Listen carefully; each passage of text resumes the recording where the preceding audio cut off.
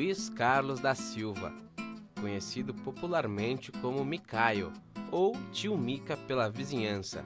O músico violonista com mais de 40 anos de profissão escreve sua história a cada acorde.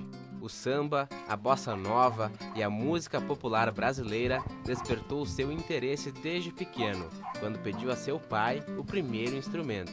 Tinha meus 11 anos, meu pai trabalhava de encanador e me levava a trabalhar com ele.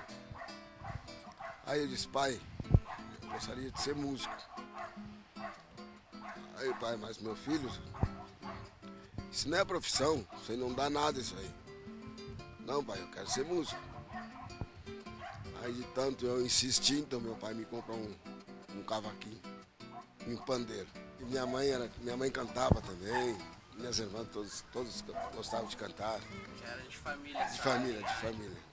Inspirado em talentos como Emílio Santiago e João Bosco, o desafio e dificuldade de trabalhar com o samba em uma cultura distinta parece não atrapalhar, mas o preconceito foi uma das barreiras da trajetória de Micaio.